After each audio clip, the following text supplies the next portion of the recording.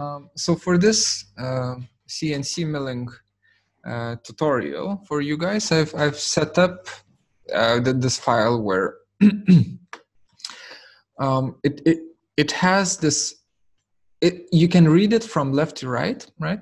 And on the left-hand side, it has this uh, single element, not, not even an element, a form, which is like overly simplified, simplified version of, you know, one one type of the element that we that we used uh, which is you know okay to to give a very basic overview of how to set up the file for cnc milling. But of course if if it works for this model you know that your setup then it will work for something that is more complex. In most cases. In other cases it might not but uh, i'll, I'll kind of make sure to you know highlight the cases where cnc milling is going to be very problematic. So first of all i'm not sure if all of you are familiar with uh, cnc milling so i'll just quickly cnc milling uh, wood uh, whatever. I'll just explain what cnc milling is. It's basically um, with with 3d printing you have what's called additive manufacturing right? Additive from the word add. So you keep adding layers of plastic uh, or not necessarily plastic but of material on top of each other and thus you 3d print right? With cnc milling it's re- retractive retractive manufacturing? Re retra- yeah i think it's i think hmm? Subtractive yeah. It's subtractive manufacturing god damn um, and it's uh, kind of the opposite of uh, 3d printing right? So you're removing material. And i think i've yeah we can look at this one for instance. You know cnc milling wood. So you have a, a drill bit. Well it's not a it's not necessarily a drill bit. It's a cnc bit uh, which removes uh, material. And it's it does that also kinda in layers not not really in layers but let's say kinda in layers right? So so you're you're carving out your form. And for instance this machine right here it's uh, three I, I believe it's a three axis cnc mill machine. So it works exactly in the same way as a 3d printer right it, can move to the left to the right and up and down. So XYZ meaning three axes. There are also much cooler CNC machines which are five or seven axis one uh, ones. So if I search for seven axis CNC machining, this is much cooler. Um, let me just find, uh, for instance, this helmet. Sure, why not? So seven axis machining looks like this, where the robot can, the build plate and the robot can move separately from each, each other. And in, in, gen, in total, you have seven axes of movement. So you, uh, the, the drill uh, can fit into we, re, at we, very, very weird corners, right?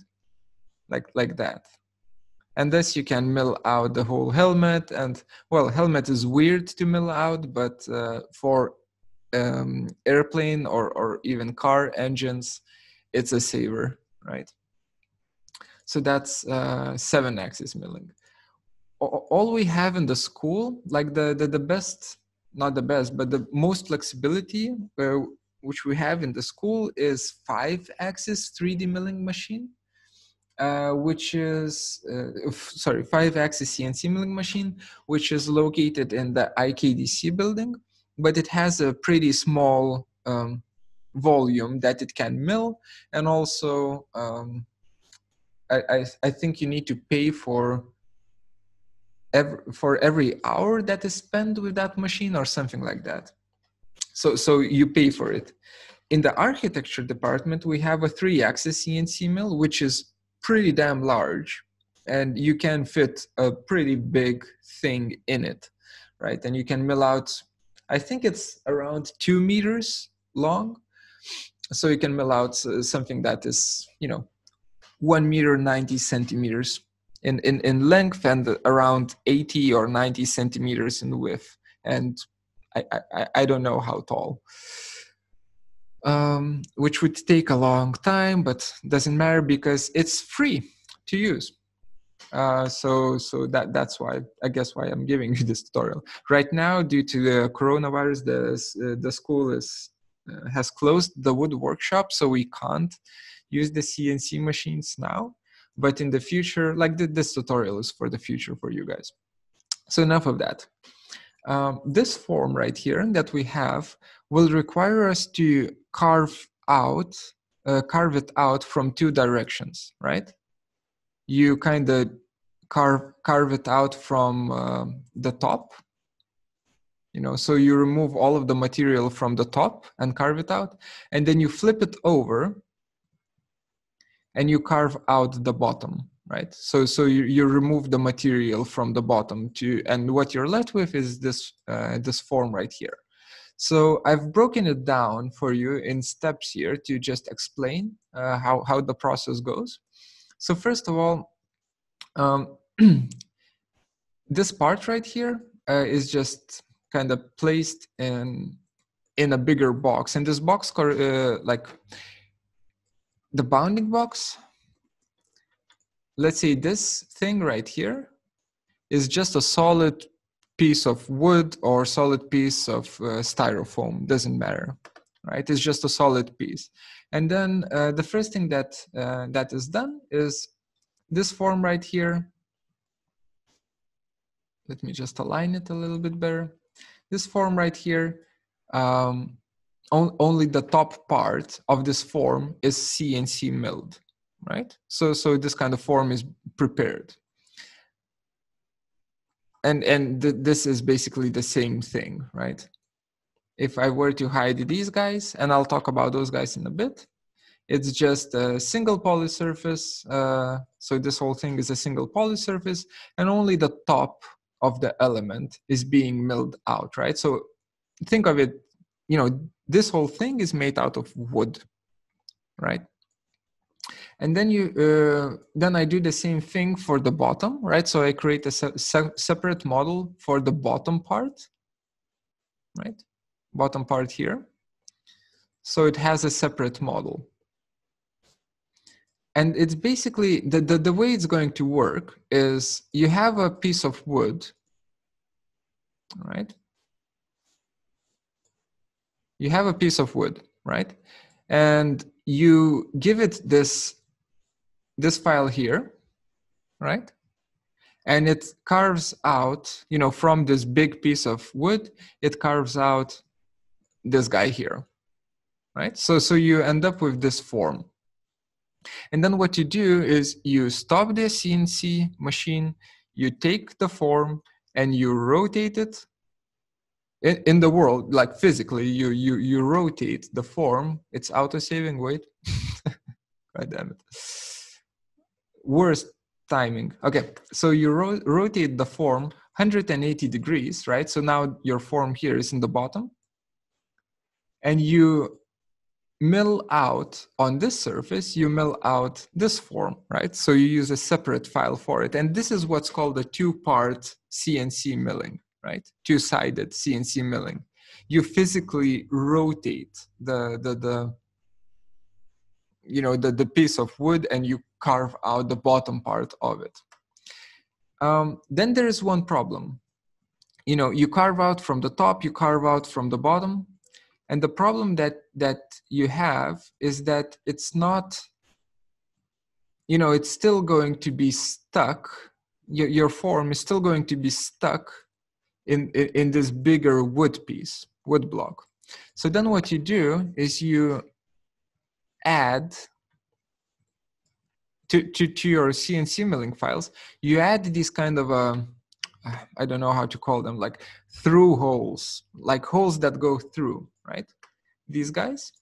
And since you're going to be flipping them, uh, flipping it over, these through holes don't need to go all the way through the model. They just need to reach the half part because you carve out, well, this is already with, you know, these guys carved out. So you carve out until half, then you flip it over and you carve out with this ones uh, uh, until half again. And what you're left with by the end of the whole CNC milling process is this top part and this bottom part. So this is after the CNC milling has taken place. You're left with this kind of a form, right? Then you take a saw, you put it in the in, in in one of these holes and just cut, cut, cut, cut, cut, cut, cut, cut, and you're left with something like this, uh, which comes out you know from from from the cnc model. And of course you can make it much much nicer. For instance i would probably choose to have um, the, these holes rather than them being located in the center here i would have them located on the corners here for sure. Right? Uh, so every corner gets a hole rather than ev- every center point gets a hole. Um, i would be doing that for sure but um, for, for this example, I think this is good enough, right? So you're left with this, and then you just take a saw again and kind of, you know, cut cut away these these shit pieces here, unnecessary pieces. I think those are called holders, if I remember correctly. So you cut away the holders, and uh, you sand it down, and you have your piece, right? That's as as easy as, as it gets, right? So this is the theory uh, of, of, of CNC milling. And now to put it in practice, here, um, one, two, three, four, fourth from the left, you have model for CNC milling top part and model for CNC milling bottom part, right? So these two guys are uh, the, the, the, the, the models that you would import into Fusion 360. So without further ado, I will open up Fusion 360, which is super nice that it's free for, for students for the education use. I will open up Fusion 360. As it's opening up, I will export these two models. Well, actually, I'll be just showing the tutorial with one of them because it's, come on it's going to be absolutely the same for the other model. Uh, as, as like the setup is going to be absolutely the same. Um, so I'll just be showing you with that, let's see the top part with, with this model here. I'll select it and I'll type in export, enter. And here I'll just name it CNC top and the file type that we use is called STEP, step format. So for 3D printing, we always use STL. And STL is basically the most bare bone mesh format. STP is the most bare bone, most simplistic uh, poly surface or, or NURBS surface uh, model extension right so it doesn't carry over materials it doesn't carry over any additional information it just carries over the the the the, the form the geometric information. So cnc top step format. I'll hit save. It will ask me for step schema. Uh, this is for my uh, like I, I always choose automotive design. Don't ask me why. I just I think I googled it out and for, like three years ago, and I'm just using it, and it works, so it's fine. And uh, everything else here is is whatever, right? I, I I won't be messing around with with these settings. I'll I'll keep them as defaults. I'll just hit OK. File successfully saved. Super. Then I can go jump into Fusion and here in the top uh, left corner, I have file uh, menu. Top left corner, file. I'll click on it. I'll choose open. And here, okay, so Fusion 360 is like a, it tries to be a cloud-based thing and you know everything is connected to the cloud and so on no we don't care about that we have saved it into our desktop so i'll be clicking the button which says open from my computer So click that, open from my computer, find cnc top.stp, hit open, and it's going to open open up for you. Okay, so question to the group. Uh, how many of you have opened the file and it's rotated 90 degrees? Like, uh, so, so it's vertical on your, on your screens. Or is it fine for everyone? It's fine. I don't have Fusion, so okay. I, I can't open. Mm, nice. okay. Okay. So if it's fine, uh, then then it's good. Um, I, I'm following you, but I'm not doing anything. I have Fusion, but I'm not doing anything since that. Oh, it, it will be uploaded on YouTube, I guess.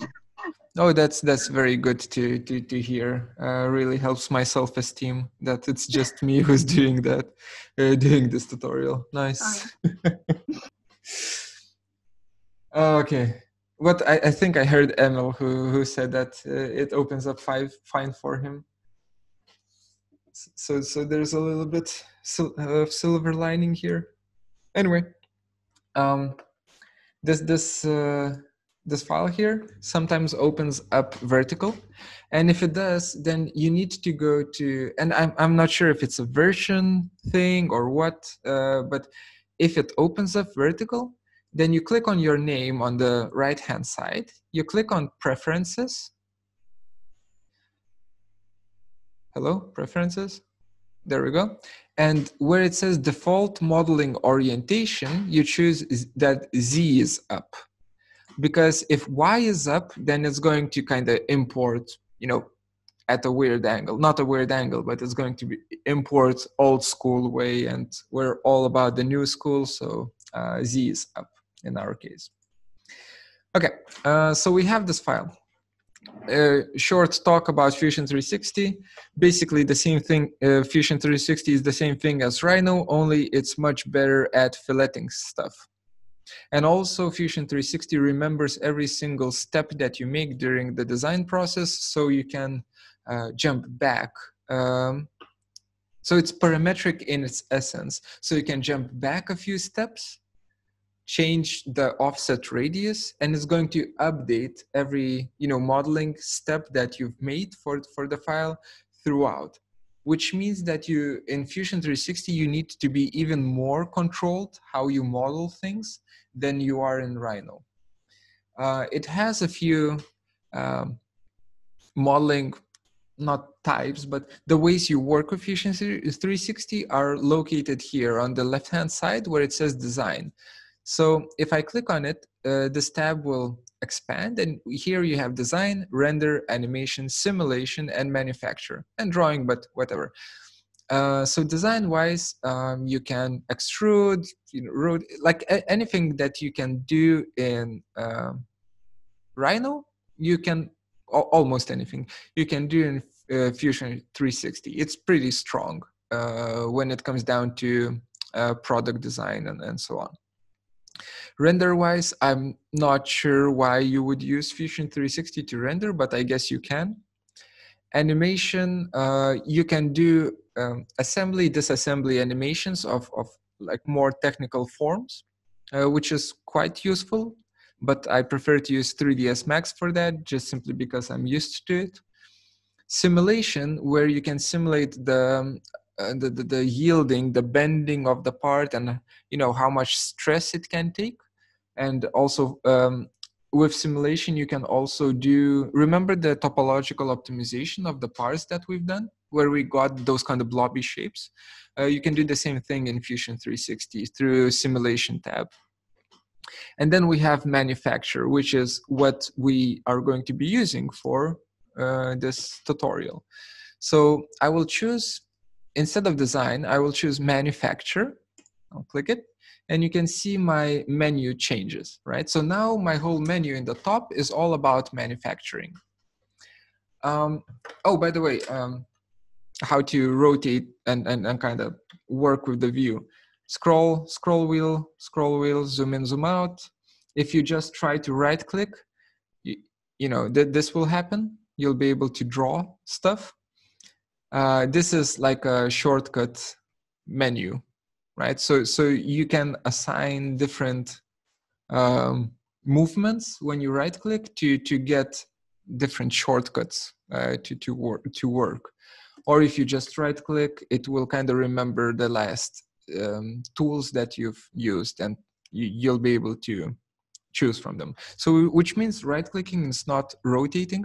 Rotating is holding down the shift key and um, clicking the and dragging the scroll wheel. That's rotation. Holding down the control key and clicking and dragging the scroll wheel is pan.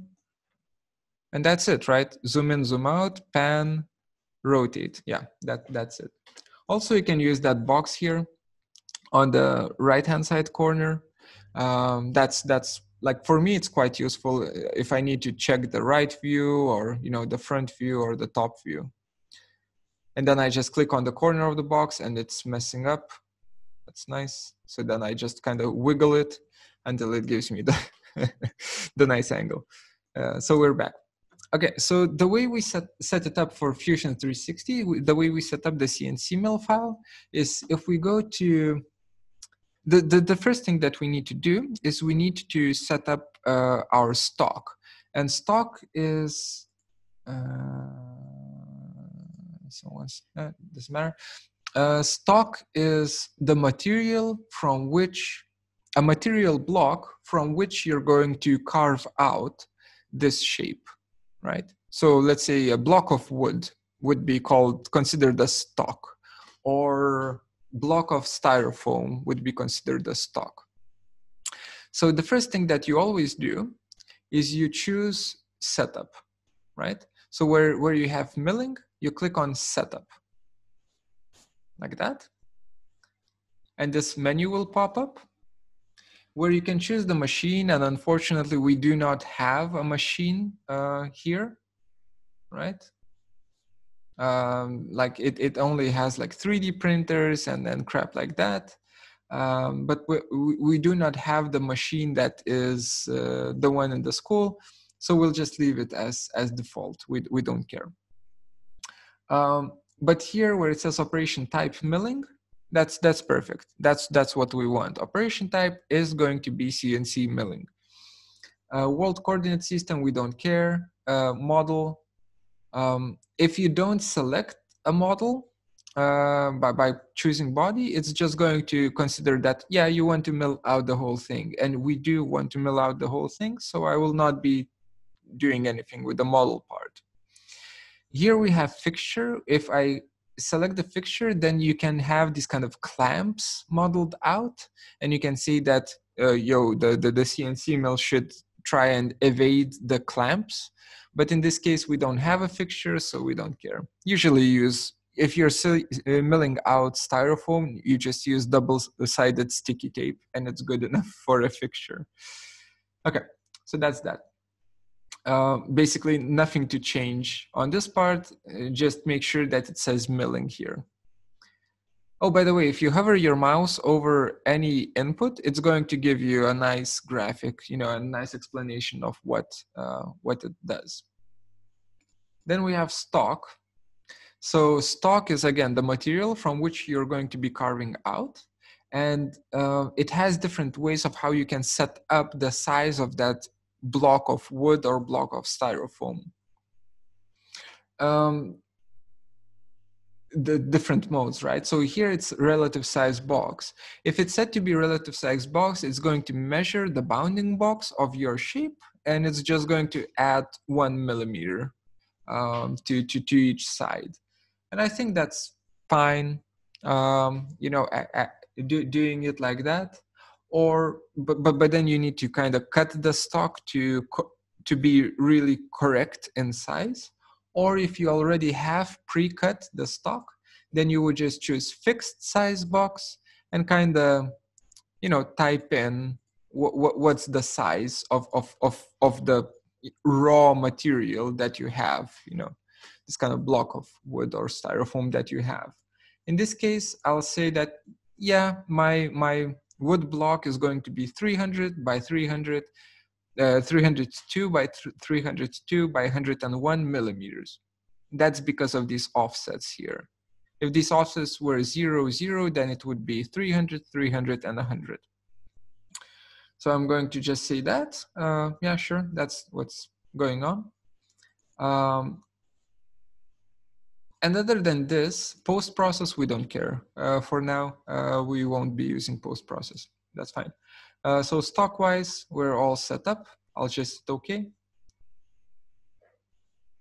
And we have our setup. So here on the left-hand side, you can see like this setup one was created and I can actually um, rename it somehow. Am I blind? Hello, rename? Oh, I just click on, on, on the name of it and then I can rename it. So I'll just say uh, my first setup or what, whatever, my first setup. Okay. So notice how this model has now a yellow box, like yellow transparent box around it. If I if I click on my first setup, the model becomes yellow. If I click somewhere else, the model becomes, you know, regular. So it, it, this my first setup shows me the size of the stock that is going to be used to carve out the model. So now I have the block of material and now I need to generate toolpath, you know, how the drill, it's, it's not a drill, it's a CNC bit. There's a difference. Uh, CNC bit versus drill. Or sorry, uh, row, router bit versus drill bit. Images. Uh, or is it better to just drills lack the power and speed for effective, effective and safe routing, right? Um, it's basically if you're going to if you are planning to do to make a your own cnc machine and you're going to say oh i'm just going to use a drill for that the drill is going to break. You know? Uh, so be mindful that a router bit and a drill bit even though they look quite similar uh, they're rather uh, different in their in their strength.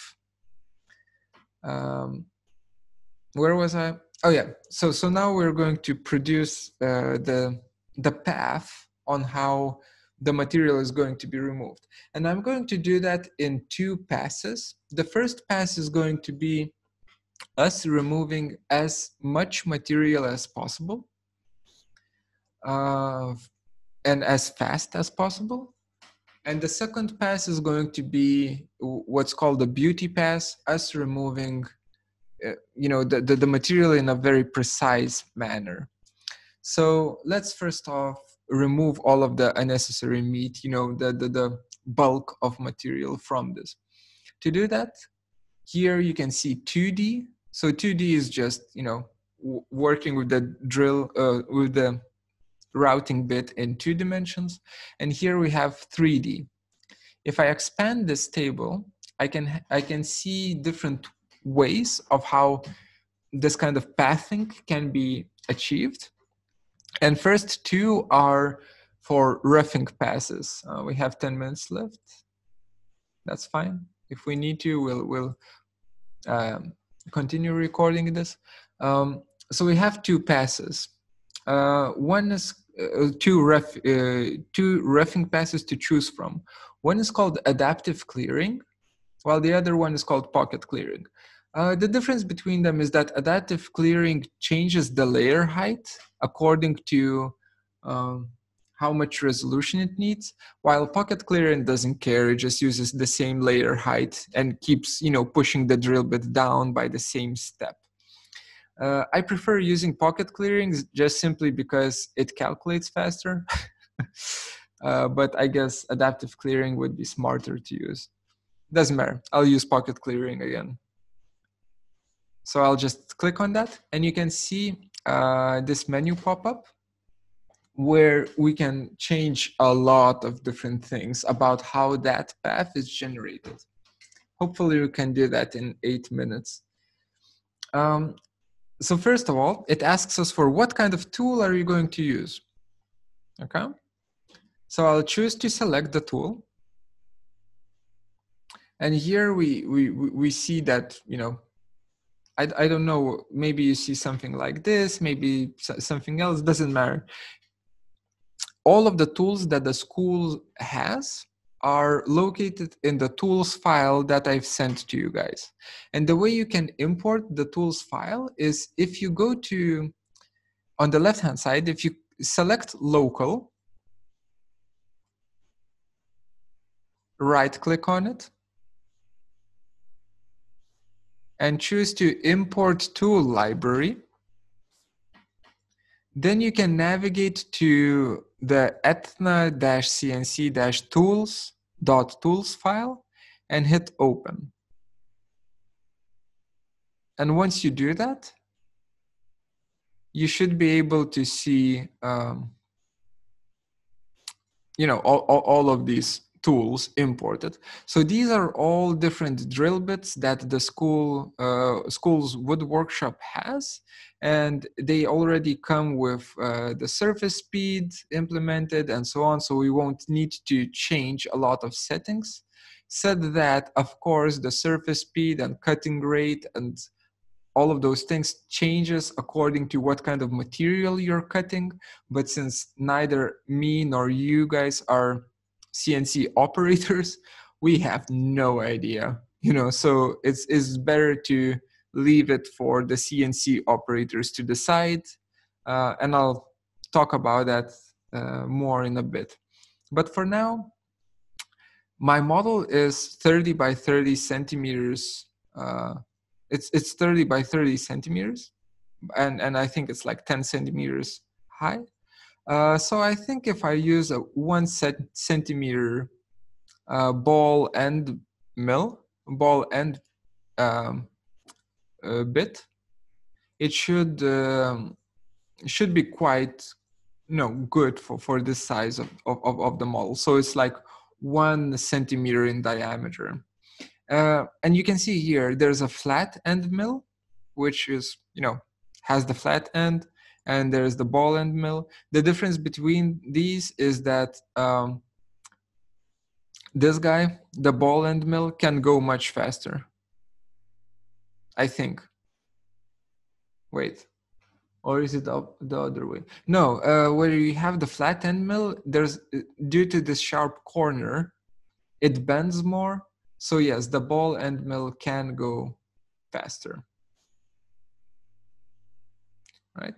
So I'll just choose this one, ball end mill, uh, 10 millimeters, hit OK, like that. And you can kind of see it appear on my screen here. So this is the relative size of it. Again, this is to remove as much material as fast as possible. So this is fine.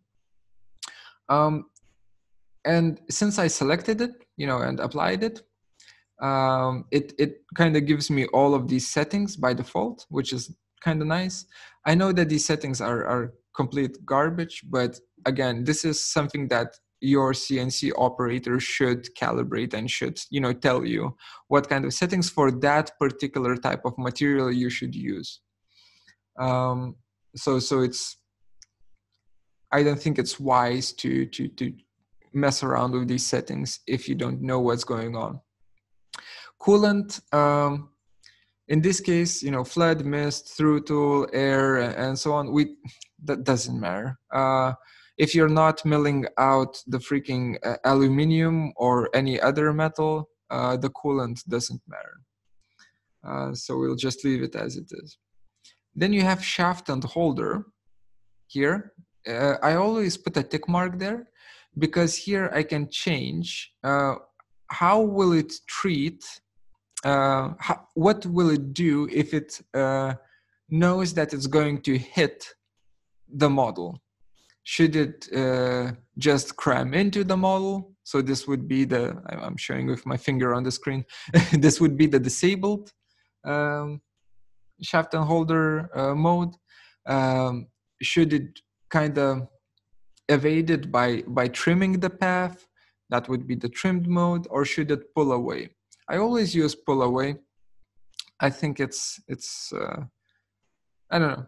um, I guess it's up to you to decide which which one you prefer, but pull away I think is the safest one. And clearances of one millimeter and five millimeters I think are fine. Uh, so I'll I'll keep them as they are. next up we have uh, so so this is we're done with this tab. If I turn on the next tab, we have geometry, and uh, in this case we don't care uh, because this is the first uh, path that we're doing. We don't really care about uh, rest machining or model. So so uh, we we just leave it as it is. That's fine. Heights. this is you know how much is it going to pull up uh, what does it consider to be the top? Was what does it consider to be the bottom of, of, of, of the box and so on. So it's always a good idea to kind of go through this and check out whether or not it's you know making a mistake but usually by default it generates a pretty good clearance like uh, not just clearance heights but different heights are generated automatically pretty well. So I won't be messing around with these. Then we have the most important part, which is passes. And passes are uh, through these you kind of control the quality um, and the step size and so on of, of the drill bit. So keep thinking about it as if this is a negative 3D printing, right? So it's removing material layer after layer right? So you can describe the tolerance for it, you can describe the minimum diameter, and here you can des describe the step over.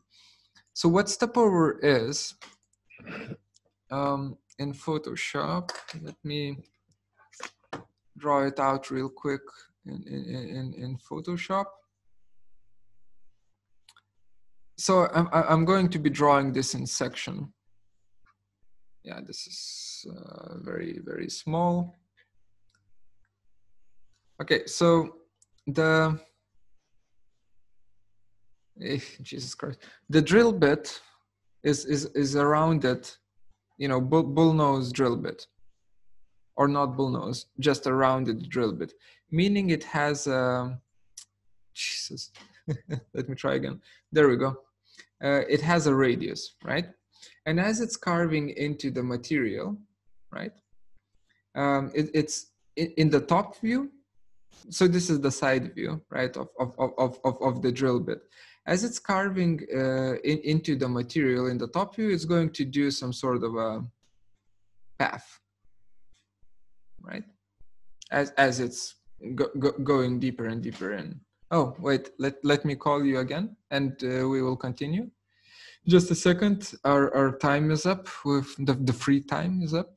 Just a second.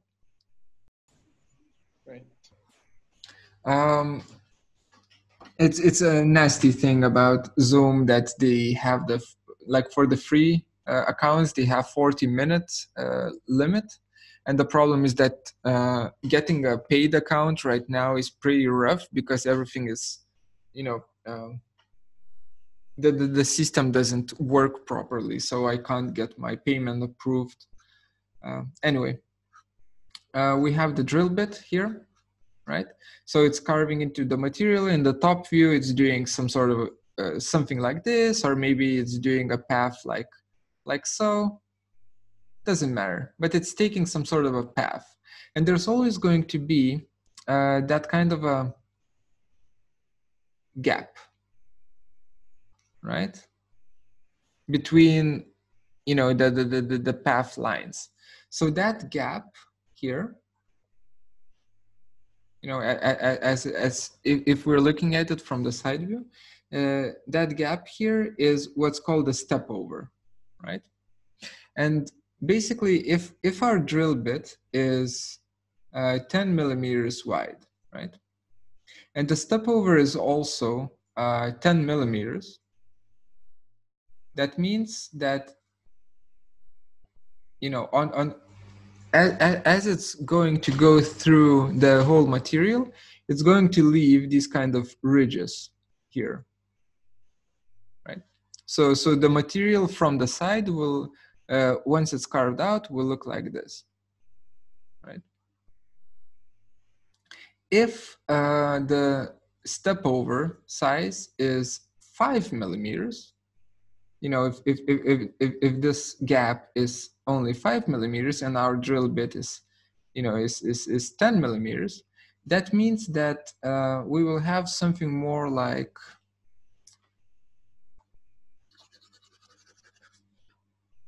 uh, something more like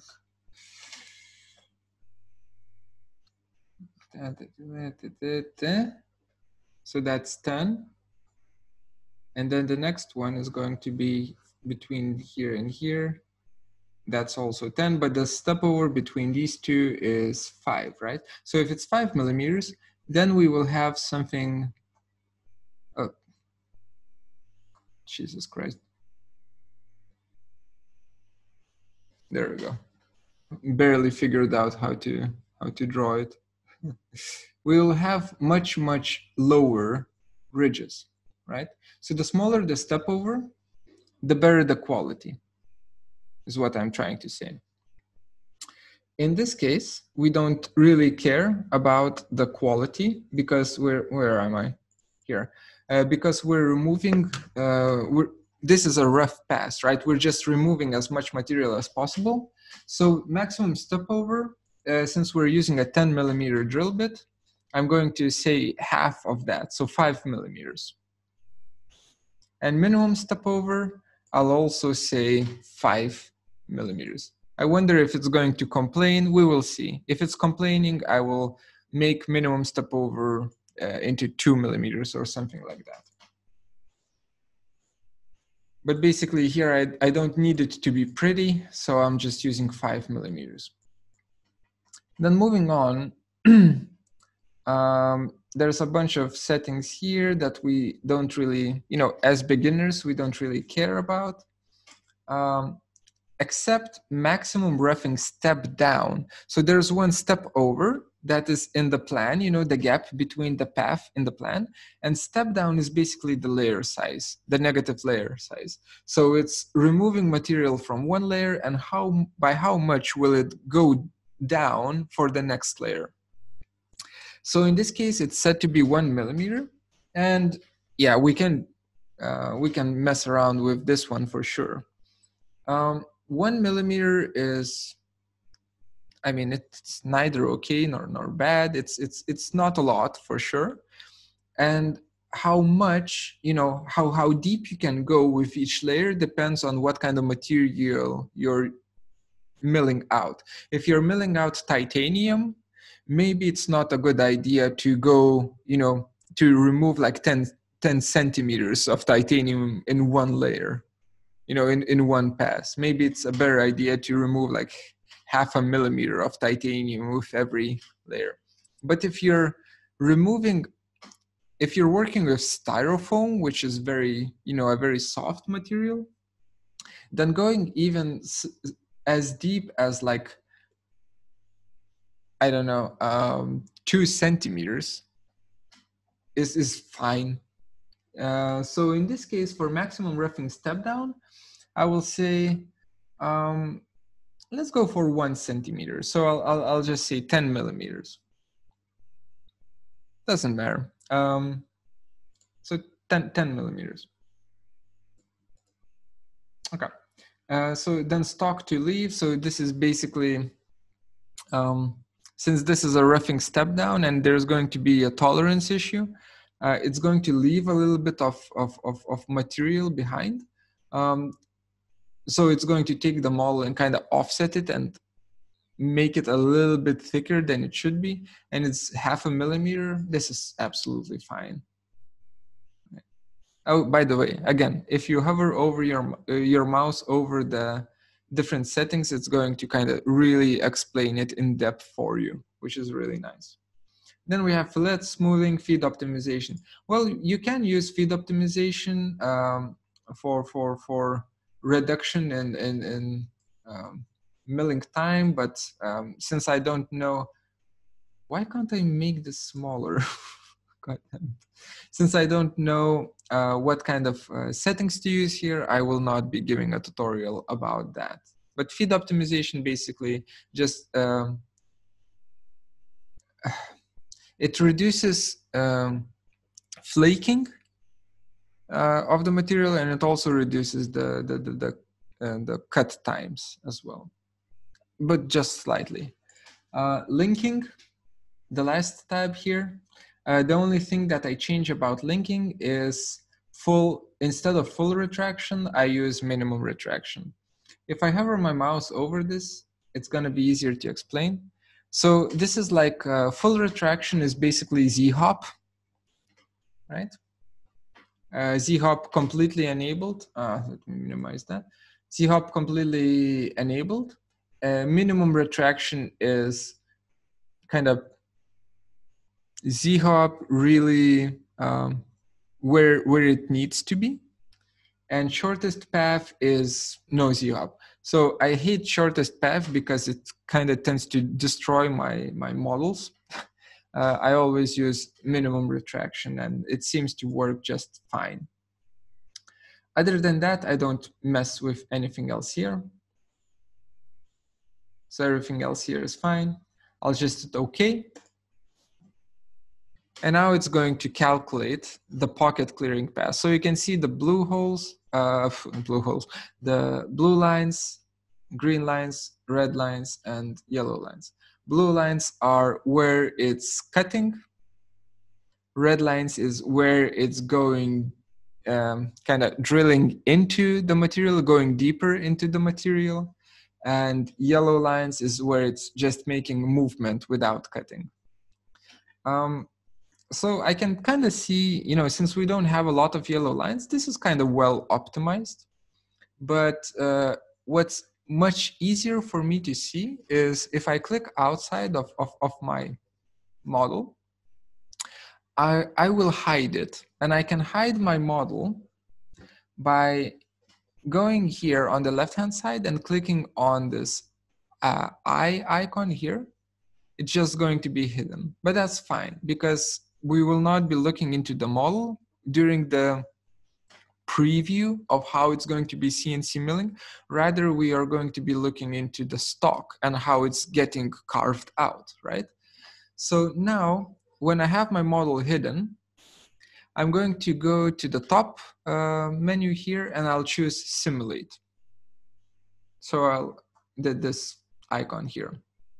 I'll click simulate and here I have a bunch of, uh, not a bunch of settings, but a few settings. So this is, what do you want to see, right? Do you want to see the tool or not? I do want to see the tool, sure. Would you like the tool to be transparent? Yes, I would. Would you like to, I, I don't know what this is. Doesn't matter. I won't explain it since I don't know what this does. Then would you like to see the tool path? Well, Yes, but maybe just uh, not the whole toolpath because it's gonna get in the way. Maybe just give me the tail of the toolpath.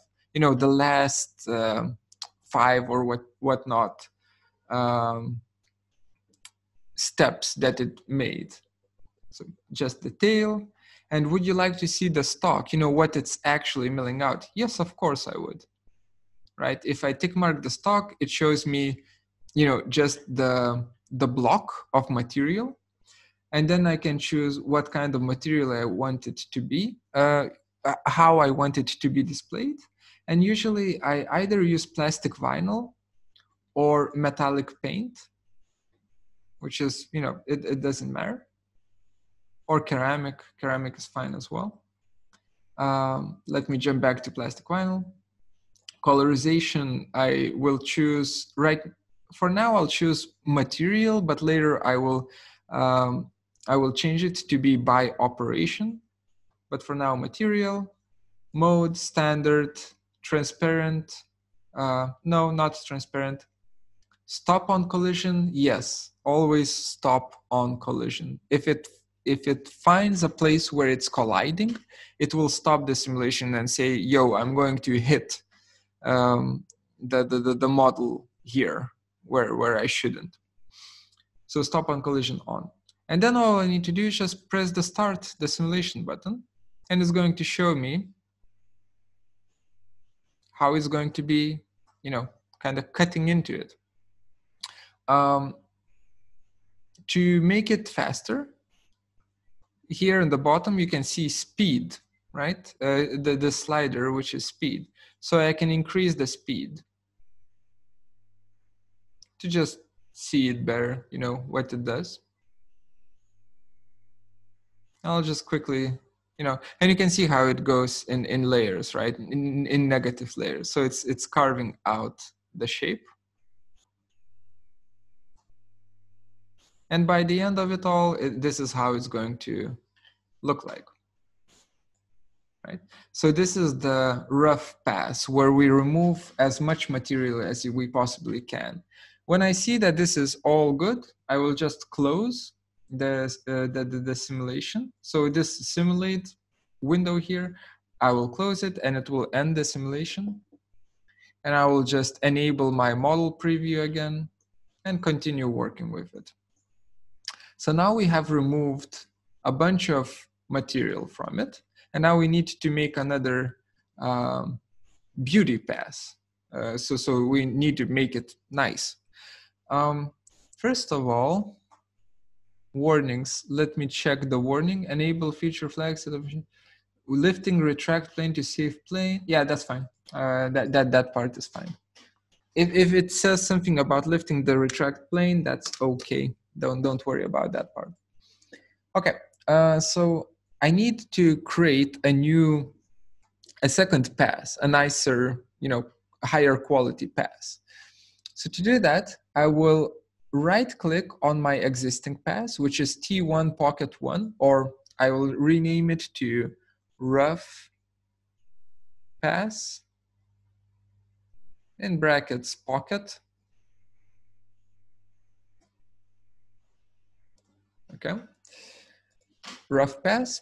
Uh, I will right click on it and choose uh, create derived operation. If I don't do that, if I just simply click on um, one of these again, it's going to ignore what has been done with the stock up until now, right? And it's just going to kind of not know that the stock has already been milled with this roughing pass. So I need to right click on the roughing pass and choose create a derived operation, 3D milling, and choose one of these passes from here. Uh, so parallel, contour, ramp, horizontal, and so on. Um, in this case, like for, for this model, I would use either parallel pass or I would use scallop pass. Um, honestly, I think, hmm. Yeah, let's try using uh, parallel, parallel pass both of these are kind of work in a similar fashion. They just go along the surface rather than stepping down. Um, but parallel is much more easier to explain. So I'll just choose parallel. The more you work with CNC milling, the more you will kind of know what kind of path to to take, right? Uh, for for a certain geometry. In this case, parallel path is fine. So I'll just choose that again, it asks me to choose a tool, but it's already set to be that 10 millimeter ball end mill. And let's say the CNC operator is uh, tired and he doesn't want to change the tool. So that's fine. We'll keep using the uh, 10 millimeter ball end mill for, for this pass as well. Shaft and holder trimmed. Uh, I will choose to pull away instead of it being trimmed. Um, so, so that's also an important thing to change. Then we have uh, geometry uh, tab where, you know, we didn't change anything uh, before, but now I will indeed change one thing and it's rest machining. So I'll tick mark that, rest machining. I'll choose uh, the source. I'll make sure that the source is chosen to be from previous operations, right? So it's not uh, carving something that was already there. Uh, sorry, it's not carving out uh, the, the, the original stock, but rather carving out already carved out stock by the previous um, operation. Everything else is whatever. Heights, whatever, passes. Okay, so passes wise, in this case, uh, I really need to work with the step over step over size, right? Um, for for my previous uh, milling operation, I used five millimeters, but in this case, I want it to be a much nicer, to have much nicer surface quality. So for step over, I will choose, let's say one millimeter. Uh, probably, yeah, it's it's probably a little bit overkill, but one millimeter should be fine. So it's going to like, once it does the zigzag, and it's going to do a zigzag like that in, in the plan view. The gap between these lines is going to be one millimeter, right? Back here, step over one millimeter, direction both ways, that's fine. Uh, blah, blah, blah, linking, minimum retraction, so nothing else to change here. Everything else is fine. I'll hit OK.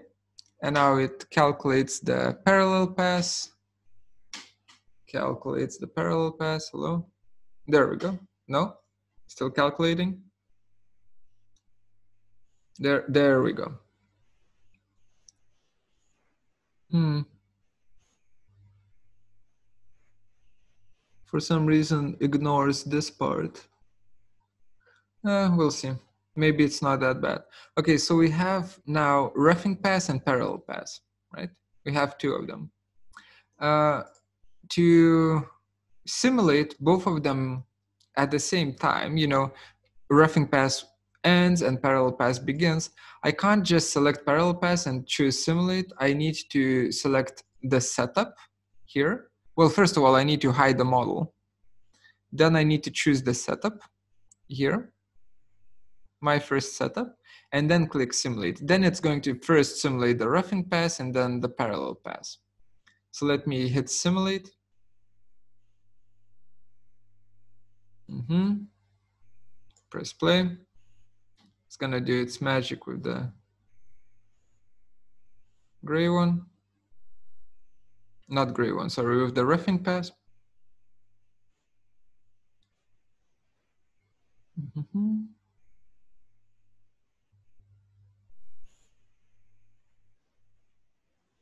Yeah, yeah, yeah. Bam. Okay. So so it it it, it began doing the parallel uh, cutting, parallel pass, and here you can see. Oh, and it's going to be much more. It for some reason, and I don't know why this uh, constantly happens. For some reason here it says, "Oh, I'm colliding." Well, are you though? Are you really? Doesn't seem like it. So I'll just let it run again. And now it says, no, no, I'm, I'm really colliding. But, and I don't know how to, how to fix it. If you know, let me know. but I, I don't know how to, how to fix this, this part here, you know, that it constantly registers collisions, even though it's not colliding at all. Um, anyway, I'll, I'll, I'll leave it, con- uh, I'll, I'll have it continue, and I'll actually I'll untick stop on collision for now. and just let it run.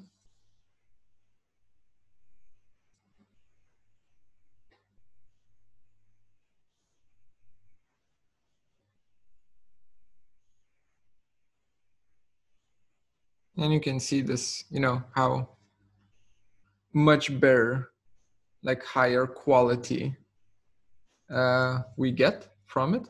For some reason, it completely ignored the, the horizontal parts, which I don't like. Why the hell did it ignore the horizontal parts?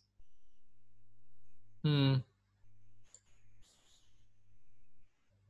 Okay, let me close it and kind of investigate it a little bit. Parallel. So to edit it, uh, to edit already existing paths, you can right click on it and choose edit. And then you're back here. And is it is it the tolerance? No, it's not the tolerance. It's not the step over, pass direction, that's fine. Direction both ways, up, down, milling, don't care. Mm-hmm, that's fine.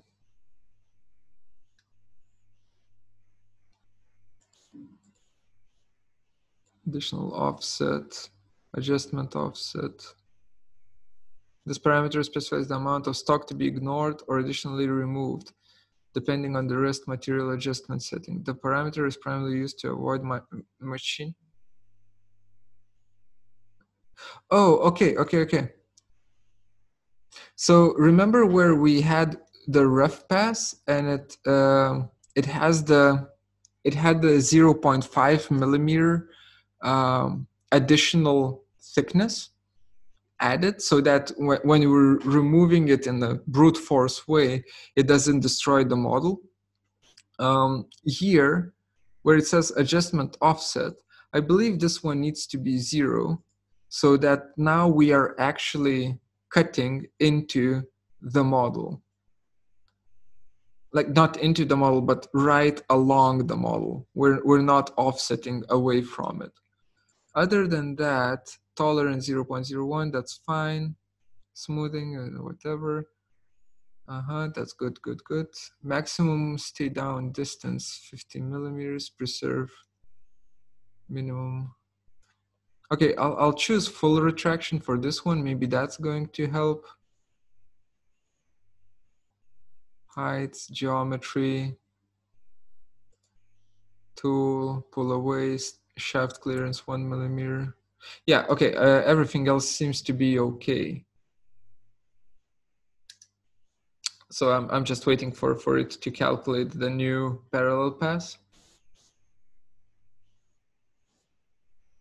There we go. This is, ooh, this is so much nicer. Okay, okay, okay, okay. So now let's see how it's uh, going to simulate. Turn off the model, press play.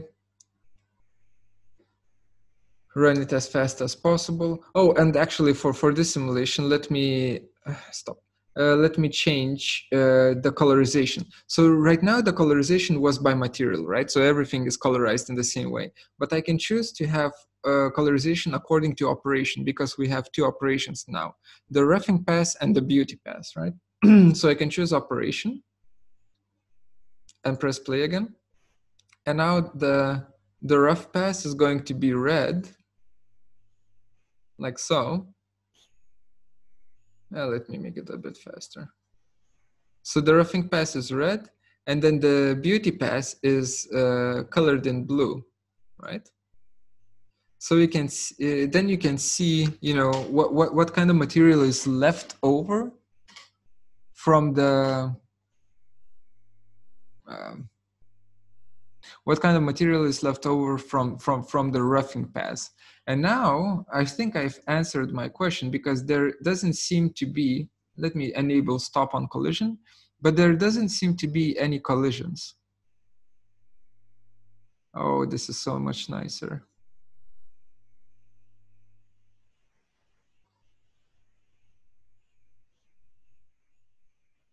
See, I've, I've learned some things as well.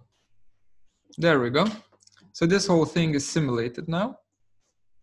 And you can see what kind of uh, output you will you will get from the CNC machine with a really really big drill bit by the way. The whole machining time is one hour and 55 minutes for this part. And then to to kind of finish up the tutorial then you would do exactly the same process for the bottom side, you know, for the second model, which is the bottom side, this guy here, you would be doing the exactly same process in Fusion 360, and you would be exporting two G codes, one for the top side and one for the bottom side. And once the top side has been milled out, you kind of flip it over and then run the the bottom side G code and it carves out the bottom side. I hope that makes sense. Does that make sense? Uh, write, write in, in, in chat or, or tell me. You know, because you, you carve out the top side, you carve out the bottom side when you have it flipped, flipped over and you have it, you have a form like this. Hello. I, I have a, I have a question. Uh huh. When we flip the the the wooden piece itself in the machine, Yes. uh, how is it going to be adapted to the same zero point? Like because it has to be in the same place, right? Yeah, yeah. You use uh, duct tape to mark out. So this is a square, right? Mm.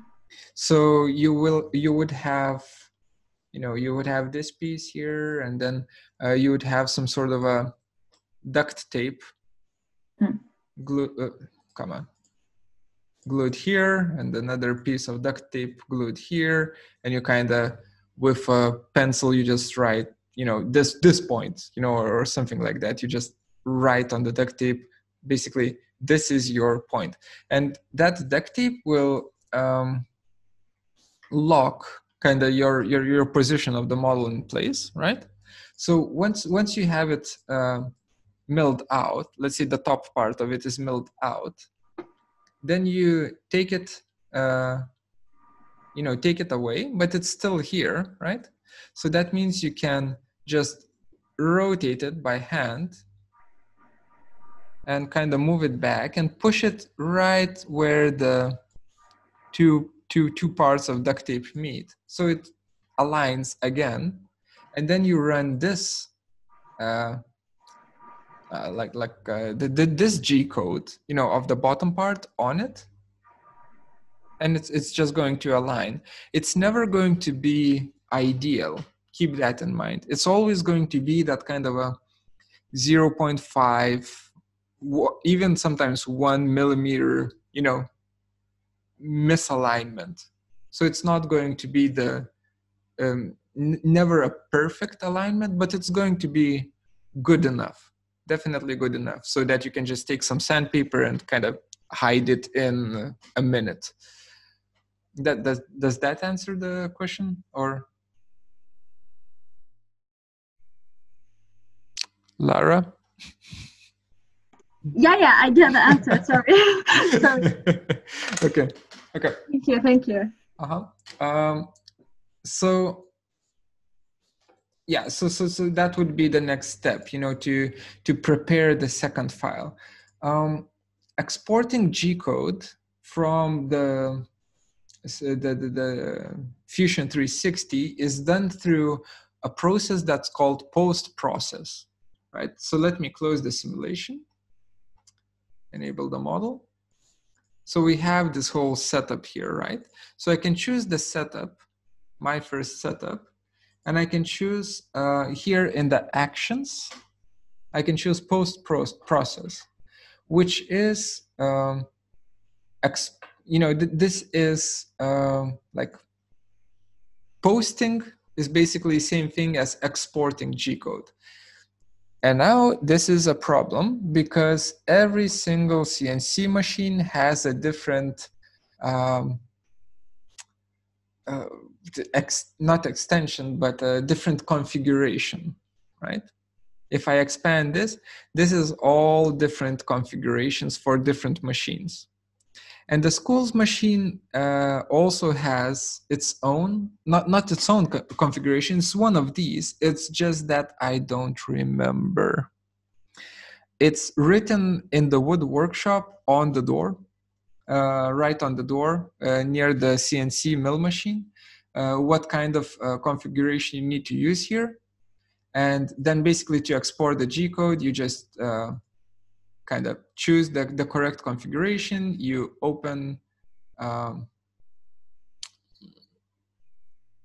no, no, no. Uh, you, you select, you know, you, you select where you're going to be exporting it, you know, to desktop or what, whatnot. And then you just hit post and it's going to export you know this kind of g code that the machine reads for you it's just that i don't remember which one and all of you you know mm, every machine since every machine needs a, a, a different one different type uh, you need to kind of double check. But once you have you know exported it it's it's pretty easy to run it.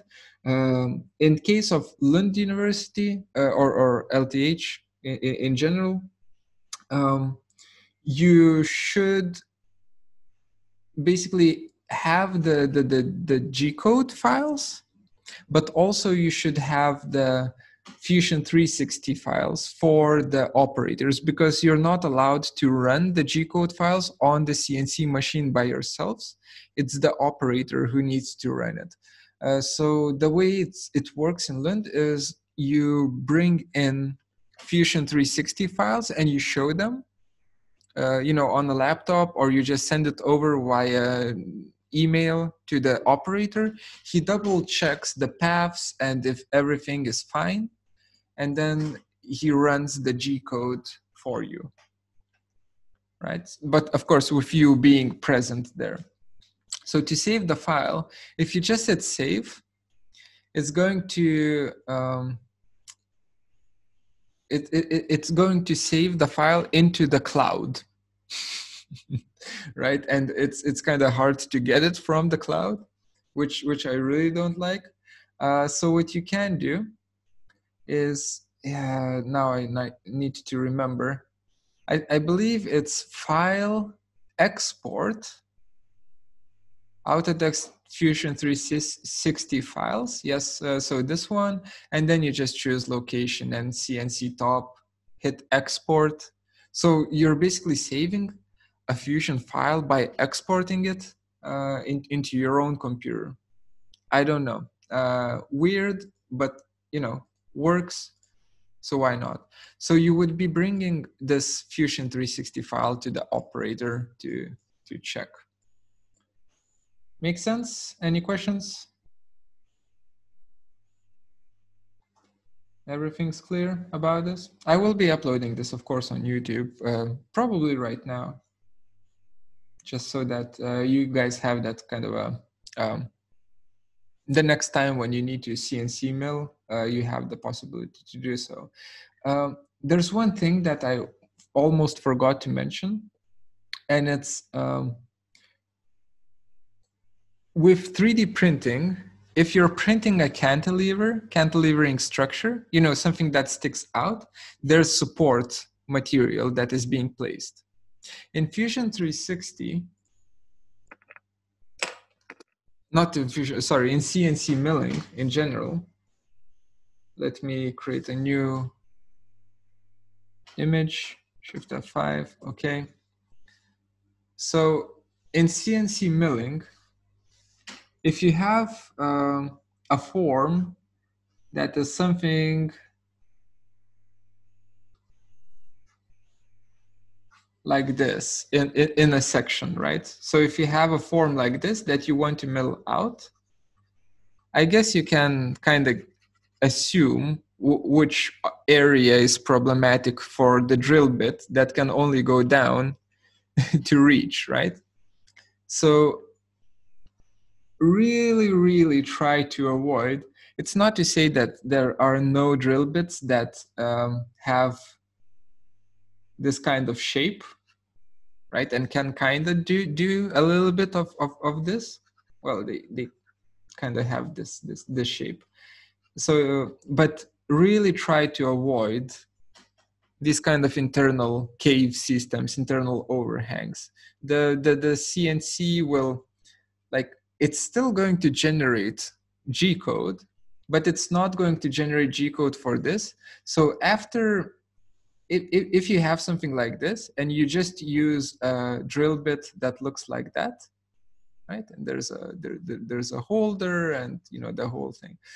Uh, so if, if you have something like this, uh, then what it's going to create from, from this kind of shape once it drills it out, it's just going to be this.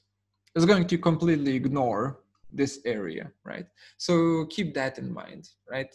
A anything that that has this kind of cantilever that blocks the path for for the drill bit uh, will be either ignored or even worse, not ignored, and it's just going to kind of cram in you know into into your model and kind of destroy the model so you need to be mindful of that when you're designing for cnc milling does this part make sense